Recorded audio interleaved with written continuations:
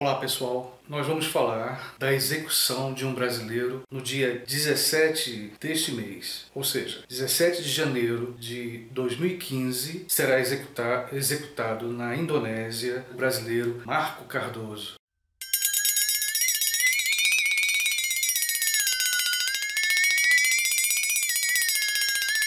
A história de Marco Cardoso começa em 2004, quando ele tentou entrar no país com vários quilos, se não me engano, 13 quilos de cocaína, num país que proíbe e condena à morte traficantes de drogas. Ele será fuzilado, já foi transferido para uma cadeia especial, se apresenta muito angustiado, muito deprimido e está enfrentando essa espécie de corredor da morte da Indonésia. Devo ressaltar que o, o governo brasileiro já entrou em contato, tentou várias vezes entrar em contato com o presidente da Indonésia, mas o presidente tem se mostrado irredutível com relação a perdoar, é, a conceder clemência aos condenados à morte especialmente aos traficantes de drogas. Não é a primeira vez que isso acontece, em alguns casos, diálogo diplomático já conseguiu resolver. No caso de Marco, tudo indica que foram esgotados todos os procedimentos legais, diplomáticos. Um ponto que eu queria discutir nesse caso específico do Marco Cardoso é sobre a pena de morte. Antes de mais nada, gostaria de colocar a minha opinião. Talvez você se pergunte qual é a tua opinião, Carlos, sobre pena de morte. Eu sei que isso divide opiniões opiniões. Muitos brasileiros, acho que talvez até mais de 50%, são favoráveis à pena de morte. E outros não, não são favoráveis, evidentemente. E outros não sabem se o que decidir, segundo pesquisas. De todo modo, a minha posição é porque eu considero a vida é uma dádiva. Eu já falei isso em outros vídeos. Eu acho que ela é uma dádiva, quer seja de Deus, quer seja da natureza. Eu acho que quando estamos vivos nós temos que usufruir dela. Mas isso não quer dizer que um criminoso não seja, não deva ser penalizado eu acredito que sim. A pena de morte ela é uma forma de controle da sociedade. No caso, sou contra porque acho que a vida é uma dádiva, ninguém, nenhum outro homem, considerando homem ou Estado ou governo, pode se considerar acima do bem e do mal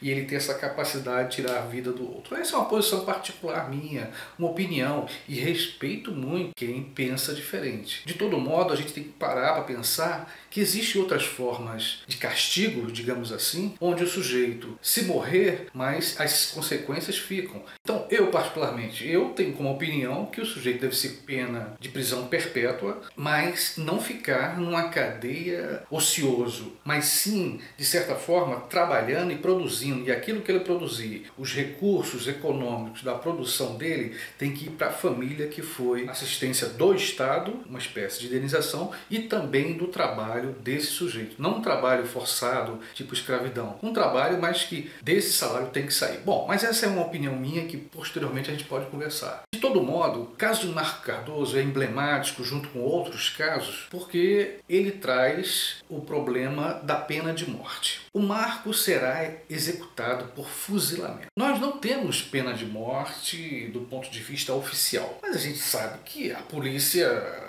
a gente abre todo dia o jornal, televisão, rede social, a gente vê lá, é, polícia sobe o morro no Rio de Janeiro, ou então numa favela, numa comunidade e sai matando. Quem assistiu aquele filme Tropa de Elite 1 e 2, baseado quase que em fatos reais, onde a polícia sobe, a polícia especializada sobe matar mesmo. Então, nós temos, de certa forma, camufladamente, as pessoas matam bandidos e muitos de nós vão dizer, mereceu, bandido é para morrer, bandido bom é bandido morto, aquelas frases que nós conhecemos. Mas a gente tem que pensar que esse bandido tem família, tem mãe, tem pai e não tem culpa. Então eu volto a essa questão se realmente a pena de morte ela produz efeitos, se ela controla a criminalidade. Porque, pelo que eu vejo, é, é interessante você, pegando o caso do Rio de Janeiro, sempre porque eu sou de lá, quase eh, todos os traficantes, chefes de tráfico, ou quem se envolve mesmo com a criminalidade no Rio de Janeiro, a maioria não chega aos 30 anos. Eles são assassinados ou pela polícia ou por grupos eh, rivais. Mesmo assim, não para, é como uma fábrica, é uma, é uma coisa recorrente, se repete a todo momento. Então, até que ponto o morrer, a pena de morte, produz efeitos de, digamos, educação da sociedade? Olha, se você fizer isso de errado, o Estado vai te matar. É claro que o caso que está acontecendo lá na Indonésia, no caso de Marcos, o governo da Indonésia, assim como outros governos, vale lembrar que existe pena de morte na China, vários estados americanos têm pena de morte, cadeira elétrica, é, injeção letal, assim como fuzilamento. Vou falar dos países do Oriente, tipo Iraque, Afeganistão e outros, Arábia, que tem pena de morte também, por decapitação, etc. Mas todos esses processos de pena de morte, desde a história, se pegarmos a história, é, vale lembrar que, se a gente recuar um pouquinho, só aqui abrir um parente histórico, se a gente pegar, digamos, a Revolução Francesa, lá no século XVIII, quando havia aquela coisa da decapitação em público, né? as execuções eram em público. Alguns países do Oriente, as execuções são em público. As pessoas, você mata o Estado, mata o sujeito para que os outros, os sobreviventes, vejam: olhe, se você fizer isso, você também será morto. Ou seja, o Estado é o carrasco. Fica a questão: tirar a vida de um assassino vai educar, vai mudar as práticas, porque continua o tráfico. Mesmo com a ameaça de pena de morte, as pessoas estão morrendo. A pessoa sabe que o país tem pena de morte, que se cair nas mãos da polícia, certamente será condenado, mesmo assim ele continua. Então é a questão do risco. É aquela coisa do jogador que ele acha que sempre vai ganhar. Um dia ele pode perder, mas a, a certeza, talvez, é imaginar que não vai cair nas mãos da, da lei né, da Indonésia faz com que essas pessoas continuem, assim como na China também em outros países.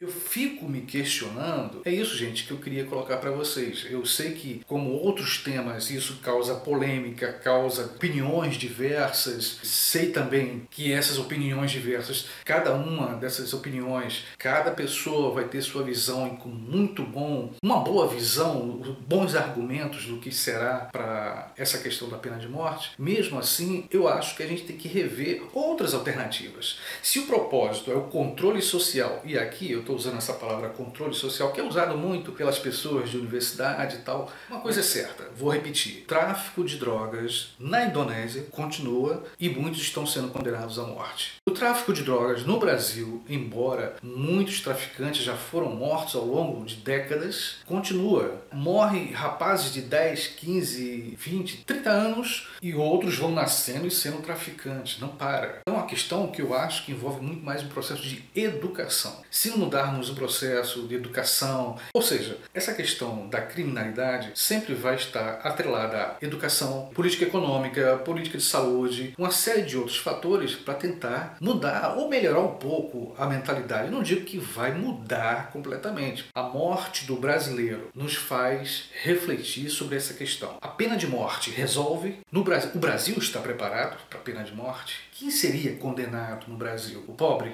Fica aqui a reflexão, para não estender mais, fica aqui a, o pensamento para que a gente possa, mais uma vez, debater sobre esses temas, que são, como eu sempre digo, complexos, polêmicos, que levam a, várias diversas opiniões. Sendo assim, eu encerro esse breve diálogo sobre a morte desse brasileiro, que será no dia 17, e que também envolve esse tema amplo e complicado que é a pena de morte. Volto a convidar que vocês se inscrevam no meu canal e se gostaram do vídeo, clica aqui embaixo em gostei e não deixe de participar. Então, beijão para vocês.